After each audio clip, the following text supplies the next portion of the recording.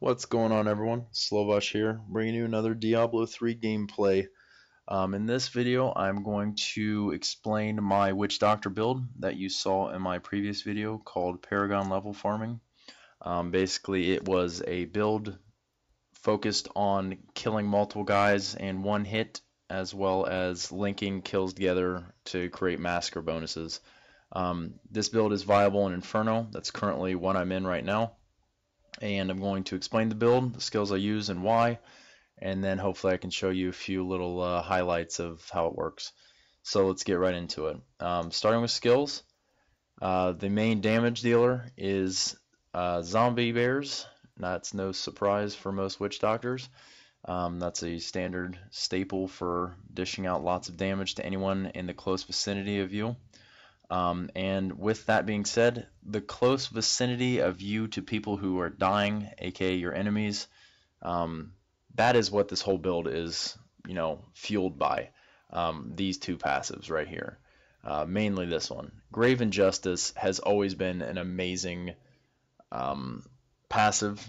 It just hasn't really ever seemed viable until the Witch Doctor had some meat shields that could tank for him as well as some better damage dealing moves that deal with being up close and personal with the enemies. And since the patch, Spirit Walk and Soul Harvest have got a nice buff. Now this is more viable. Grave Injustice, basically anyone within 8 yards plus whatever bonus radius that you have from your gear, anytime they die, you're going to gain 2% life and mana, which is going to help you stay alive and fueled to cast more spells. The bonus, which is huge, is the reduce cooldown on all of your spells. So you have a lot of spells that uh, have 8 second cooldowns, 15 second, 15 second, 15 seconds. So if you kill 15 guys at one time, you have no cooldown. Um, and that happens a lot, or 10 guys at one time, or 8 guys at one time. And they're all within that radius, so that all counts. So you're getting a ton of mana back, ton of health back, and uh, you're reducing your cooldowns big time. Now, Circle of Life was also one of the moves or passives that got buffed gigantically. It used to be 5% chance to cast zombie dogs when someone died within the radius. Now it's 30, so that's significantly increased. Therefore, it's very worthwhile. Um, by having this passive in this build, I almost always have three zombie dogs up for meat shields, for utility, whatever I need. Um, and that's purely because of this passive and being up close to guys that when they die. And with increased radius gear or um, I think the someone told me that the new thing of the deep mojo that you can put on your on your offhand that gives you 20% or 20 more yard radius to uh, you know your gold and uh, health pot pickup. So you can imagine how devastating Circle of Life as well as Grave Injustice just with that one item could become um, synergy wise. So basically trying to exploit these passives as best I can. Pierce the Veil is here just to increase my damage only, and it's not a very mana intensive build, especially when you're killing multiple guys at one time. You're never really struggling for mana. Um, so Zombie Bears is your main damage dump. If a guy's in your face and you want him gone, use Zombie Bears.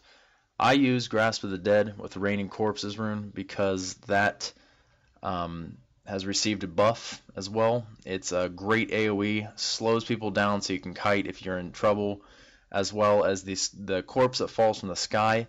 That will actually follow you um, between your battles. So if you were to cast Grasp of the Dead on a group of guys, they all die, and you're running a screen length or two away to a new group of guys, that falling corpse uh, part of the ability will follow with you. So you're actually getting the bonus 80% damage which splashes and comes and can't really be blocked. It also goes through walls, which is nice. So if you're running through like the uh, the jail cells, it will go through the walls and hit those people inside the jail cells, which you can't target sometimes with some moves. So it's a good way of carrying over some damage in between your fights, um, as well as a great AOE and uh, snare. Um, Severance on Spirit Walk, this got a buff. This now becomes a great uh, way to elude guys as well as damage them. Sometimes you'll see me just run into a pack of guys and spin in a circle. It's a great way of dealing damage. It it uh, it gnaws away at their health before you pop your other damage dealing moves like Soul Harvest. Um, Soul Harvest, Vengeful Spirit, that is going to be the bread and butter. Um, damage dealing move in this build. It's going to increase your um, your intelligence stacks, which gives you more damage and more resistance, um, as well as keeping guys within a very close radius of you and killing them, which will help spark these two passives. So, uh, Vengeful Spirit got a buff. It's now a great move for killing. I suggest you try it, even if it's not part of your normal build. Um, Hex, Angry Chicken. This is just a splash damage move. Um, this was used to just kill packs of guys at one time, so I can get that uh, massive blow bonus for killing multiple guys with one move. Um, it's also really fun and um, it's not commonly used. This this slot can really be anything you want. Uh, I just chose this because it sounded fun and it actually isn't too bad, so I just kept it in. Um, now, because I'm going to be spawning so many zombie dogs, I want to be able to sacrifice them for bonus damage as well as uh, crowd control. And um, I use the Next of Kin rune. I've seen other people use the one with mana um, regen off of blowing the dogs up. But with Next of Kin, it's uh, it's a more consistent meat shield. You don't have to work as hard to get them coming back. And um, for elongated fights, especially against a boss or someone where you're not killing guys very easily, it's really good for those extended hard battles. Um, because you'll blow them up, and then they have a good chance of spawning a new one, and then that will chain into another explosion sacrifice, which can chain into another one, another one. Basically, it's however many times you roll the dice and, and land another zombie dog, you can blow them up. And they do quite a bit of damage 275% of your weapon damage to all guys within 12 yards. So if you have all three dogs on your boss, you blow them up, they all spawn again, you blow them up, you get two back, or one back, or none back. It's, it's a great way of uh, basically extending out some damage, and it doesn't cost a, a single mana and it has no cooldown at all. It's a great move to carry around for extra damage. Your zombie dogs are really fast and they fan out on the screen, so if there's a guy across the screen that you don't really feel like backtracking to kill, you'll see me blow up my zombie dogs just to get them out of my way so I can move on. Um, that's the build, guys. Uh, I hope that explained a lot of things, and um, as far as my, my gear goes, I am wearing gear. I just chose to put the vanishing dye and everything just because it's uh, kind of funny to me to see a naked witch doctor running around killing things. Um, but all my gear is basically your standard tank doctor build gear. Uh, intelligence, vitality, all resist.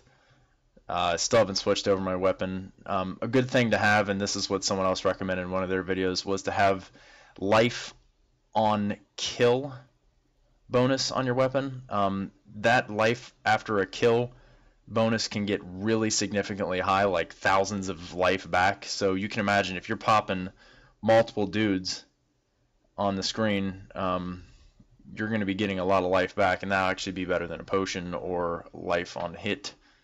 So um, it's very viable. But uh, that's my gear, guys. If you want to see it in depth, then I can show you or send you a link or something like that to the profile page. But uh, I'm going to sign off here now, and uh, the rest of the video will probably just be some clips of me slaughtering some guys with this build. I hope you guys enjoy, hope this brought you some information, and feel free to subscribe and like the video if you're still watching. Thanks, bye.